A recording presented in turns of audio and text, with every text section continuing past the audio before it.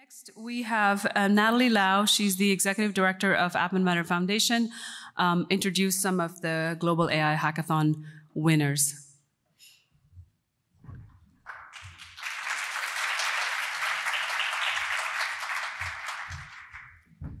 Hi, everyone. I hope you've all been having a great time at the summit so far. We've seen a lot of tools that MIT RAISE has been developing to encourage people to explore and play around with AI. And this year was the first time we launched the Global AI Hackathon. So the goal of this competition was to encourage people from across the world to use these free and open source tools to try to figure out what problems they can solve in their communities with AI. And we chose MIT App Inventor as the platform for this competition because it's accessible and free and lets anyone without technical background build mobile apps. So we had winners from all across the world. Uh, we had over 1,000 participants from 91 different countries and regions. And I'm very excited to share with you the presentations of our adult winners this morning. Uh, quick shout out, the student winners will be presenting this evening at the Global Student Competition track. So please come and attend and see what these high school and junior high school students have built. So first, I'd like to introduce NeoTalk. This is a team project from Japan, and it's being presented by Tomoya Sato, Shitara Kaede, and Dr. Takano Kosuke. Thank you.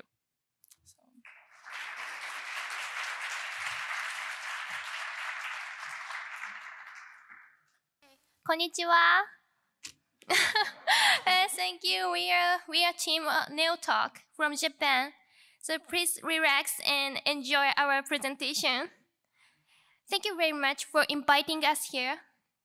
Uh, I'm Kaede Shitara and he is Tomoya Sato. We are delighted to talk about our app, NeoTalk. And with this app, you can talk with an AI character, Neon, who can express emotion just like a human.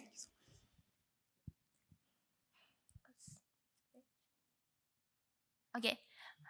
Recent advances in technology have many benefits. They have allowed us to do many things online. We can hold meetings, attend classes, and even throw parties. However, technology development has reduced our opportunity to communicate people, uh, communicate with people in real life.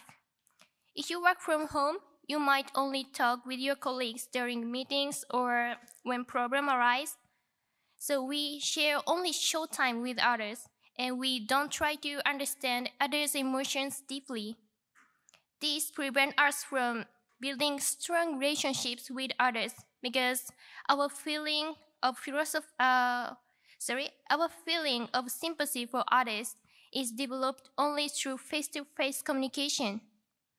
So our app provides opportunities to grow our feelings of sympathy, such as face-to-face communication. And Neon can express a variety of, of human, human emotional patterns. We designed multiple facial expressions for Neon so that user can easily understand her emotions expression. On this conversation screen, you can talk with Nell to turn on the mic and speak to her. Please watch the demo video.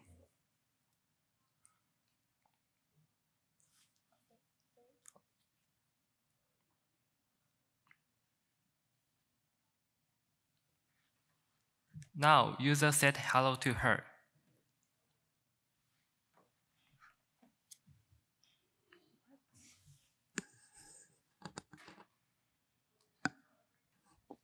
Okay, sorry, our video is can't. Uh, okay, okay. If we if we turn on to uh, speak to her, and he will he will, uh, she will respond back to us with her voice and text. Sorry, and okay. So anyway, can you see her figure in the bottom left? Here, you can check her emotion but her expression had changed. Why? Because human emotions are not always the same as those expressed. Let us consider the following situation. If your friend happily spoke to you when you are in a sad situation, how would you react? Maybe you would behave happily or respond sadly according to your feelings. So our okay. So our idea is to separate emotional expression and emotion. We define two types of the, uh, sorry emotions.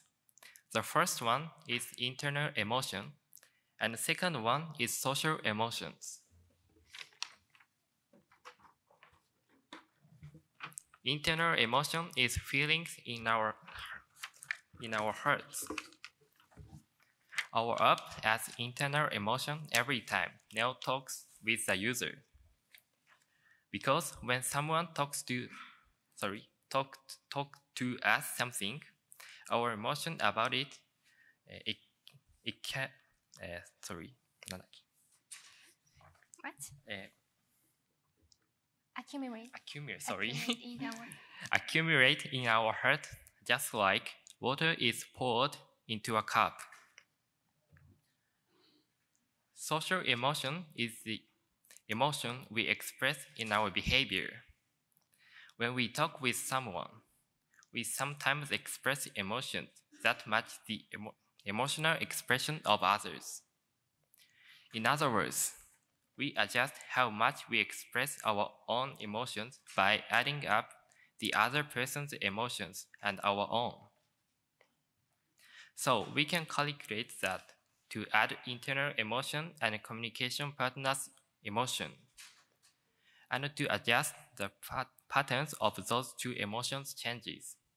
Our app can represent human-like emotion, varying from person to person. Okay, thank you, Tomoya. Uh, in this way, we achieved our emotional exchanges in behavior. To build deep relationships with others, our heart will more enrich, and we can live a higher quality of life by interacting with more people. NeoTalk will help you to, to cultivate the ability to build deep relationships. Besides, we have many other wonderful companions. Let's talk with them. This is all our presentation. Thank you for your attention.